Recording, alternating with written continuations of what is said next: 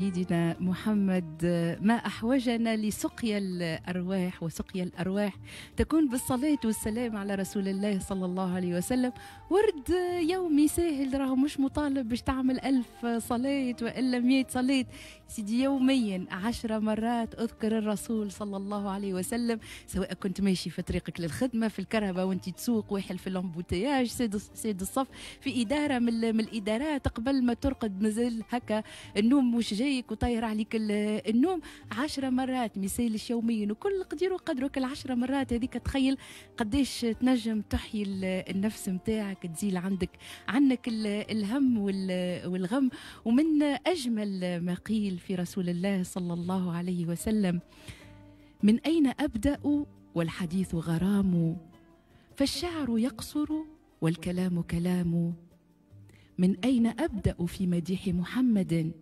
لا الشعر ينصفه ولا الأقلام. هو صاحب الخلق الرفيع على المدى. هو قائد للمسلمين همام. هو سيد الأخلاق دون منافس. هو ملهم هو قائد مقدام. ماذا نقول عن الحبيب المصطفى؟ فمحمد للعالمين إمام. ماذا نقول عن الحبيب المجتبى في وصفه تتكسر الأقلام.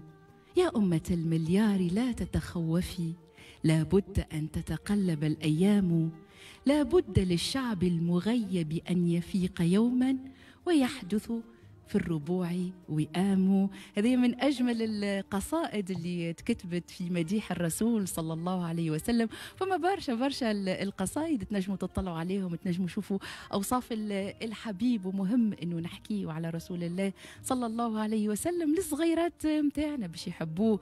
وما أحوجنا أنه يكون الرسول صلى الله عليه وسلم أقرب لأنفسنا معناها أقرب حد في الدنيا هذه لنا إحنا. فهذه الكل نجموا هكا نرسخوه في أنفسنا من خلال إنه نطلعوا على سيرته من خلال إنه نطلعوا على أوصافه من خلال إنه نطلعوا على المواقف متاعه سواء كان مع المسلمين ومع غير المسلمين. هذه الكل يخلينا نكونوا أقرب الأفضل الخلق صلى الله عليه وسلم.